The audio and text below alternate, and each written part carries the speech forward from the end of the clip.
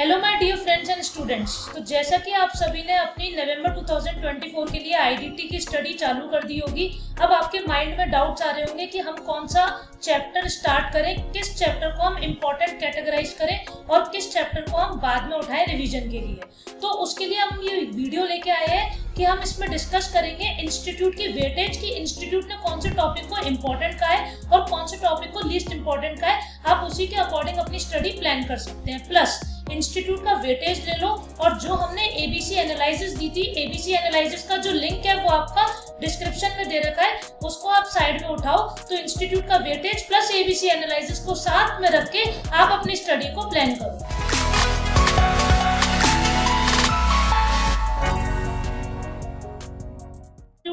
IDT subject के regarding weightage release करी हुई है, जिसमें आईडीटी जो है आपका 100 मार्क्स का है, जिसमें जीएसटी आपका अराउंड 80 मार्क्स का आता है ठीक है? तो जो वेटेज है इंस्टीट्यूट ने वो चैप्टर वाइज नहीं बताई है उसने सेक्शन वाइज बताई है। सेक्शन वाइज जैसे सेक्शन नंबर वन जो कि आपका 45 परसेंट टू 65 परसेंट की कवरेज रखता है मैंने आपको हेल्प करने के लिए यहाँ पर चैप्टर नंबर दे दिए जिससे आप इजिली लिंक लगा सकते हो। तो ये जो चैप्टर्स है ये जो चैप्टर्स है स्टार्टिंग के सेवन uh, चैप्टर्स वो आपके 45 टू 65 परसेंट का वेटेज रखते हैं। आइए इस लिस्ट को फटाफट से रीड करते हैं। Levy and collection of CGST and IGST आपका चार्ज अंडर जीएसटी वाला टॉपिक हो गया। Application of CGST IGST concept of supply chapter number one हो गया आपका। Inter state supply intra state supply supply in territorial waters charge of tax आपका chapter number two हो गया रिवर्स चार्ज उसके बाद एग्जेम्पन चैप्टर नंबर फोर हो गया। Place of supply chapter number आपका थ्री हो गया। टाइम ऑफ़ सप्लाई फाइव हो गया chapter number value of supply chapter number six और ITC chapter number seven and computation of GST liability आपका जो वैल्यूएशन का ये टॉपिक है, ये आपका जो स्टार्टिंग के first first chapter second chapter third fourth fifth six seven starting के जो सेवन चैप्टर है, जो बेस होता है, ये हमने आपको कोर्स में बताया था, जो बेस होता है वो 45 टू 65 परसेंट का एक बेस है। ठीक है? हमने एबीसी एनालिसिस में भी ये बताया था आपको कि एग्जेम्पन चैप्टर हुआ आईटीसी चैप्टर हुआ, ये जो इंस्टीट्यूट के फेवरेट चैप्टर है।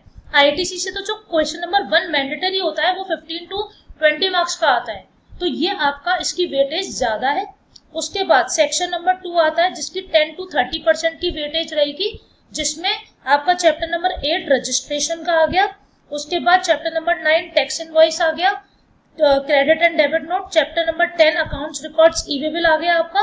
उसके बाद chapter eleven payment of tax का, और चैप्टर थर्टीन रिटर्न्स का चैप्टर फिफ्टीन रिफंड्स का, और चैप्टर सिक्सटीन जॉब वर्क का। तो ये जो चैप्टर्स हैं, इनकी weightage around ten to thirty percent है। And liability to pay in certain cases also is included in second section last आपका जो, इसमें फिर नेक्स्ट सेक्शन है section number third third section आपकी कम वेटेज रखता है ज़ीरो टू फाइव परसेंट की। ठीक है, जैसे inspection search seizure and arrest ठीक है assessment of GST assessment and audited जो ऑडिट जो थ्योरी थ्योरेटिकल टॉपिक थे, जो कि ये ज़ीरो टू फाइव परसेंट इसको आप कैटेगरी सी भी कह सकते हैं, ठीक है तो इसके अगर आप एक बार प्रोविज़न रीड कर लेंगे और एक बार रिपीटेड क्वेश्चन ही देख लेंगे तो चांसेस है कि उन्हीं क्वेश्चन में कोई क्वेश्चन फ्रेम हो जाए। उसके बाद लास्ट आपका जो सेक्शन है गवर्नमेंट का, वो जीएसटी का that is section number fourth fourth में क्या है? 15 टू 30 परसेंट रहता है जनरली ये थ्योरी हो गई।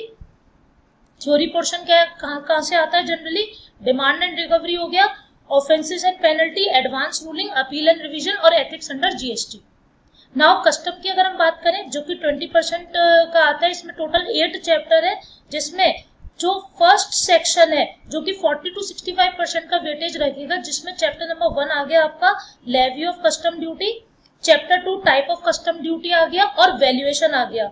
हमने जो एबीसी एनालाइज देखा था, उसमें भी हमने वैल्यूएशन को कैटेगरी ए में रखा था। वैल्यूएशन का जनरली क्वेश्चन आता ही आता है। तो इसलिए वैल्यूएशन को आपको ध्यान से देखना है। जीएसटी में भी वैल्यूएशन का आता है कस्टम में भी वैल्यूएशन का आता है। उसके बाद सेक्शन टू की अगर हम बात करें तो जैसे वेयर हाउसिंग हो गया इम्पोर्ट एंड एक्सपोर्ट हो गया साइड में चैप्टर नंबर लिखे हुए हैं, आप जिससे लिंक लगा सकते हो। कि चैप्टर नंबर सिक्स जो है, वो twenty to forty five percent के अंदर ही वेटेज रखता है। फिर रिफंड आ गया और basic concept relating to export and import आ गया।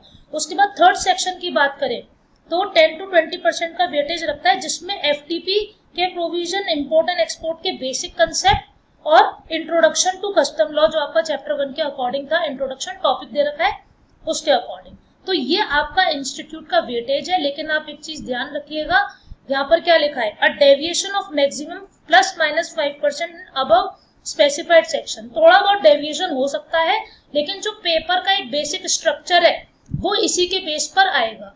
आप वेटेज को साथ में रख लो और हमारी जो एबीसी एनालिसिस है, उसको साथ में रख लो और उसके अकॉर्डिंग अपनी स्टडी प्लान करो for the November 2024 exam you want to inquire anything regarding CA final courses you can visit www.escholars.in हमारे कोर्सेज जो सी फाइनल से रिलेटेड है, वो लाइव है वेबसाइट पे। स्क्रीन पे देखिए, मैंने www.escholars.in ओपन कर रखी है। आप यहाँ पे सी ए फाइनल्स में जाएँगे। सी ए फाइनल में जब आप यहाँ पे जाएँगे तो हमारे कोर्सेज यहाँ पर लाइव है। अगर आपको कोर्सेज के रिगार्डिंग कोई भी डाउट है तो आप नीचे कॉन्टेक्ट अस के टैब पर जब क्लिक करेंगे तो वहाँ पर आपको हमारा जो हेल्पलाइन नंबर है एंड जो सपोर्ट की ईमेल आईडी है, वहाँ पर आप जाके कोई भी डाउट को क्लियर कर सकते हैं regarding our courses I hope ये वीडियो आपको हेल्प करा होगा रिगार्डिंग समझने के लिए कि आईसीआई का क्या वेटेज है. Thank you and regards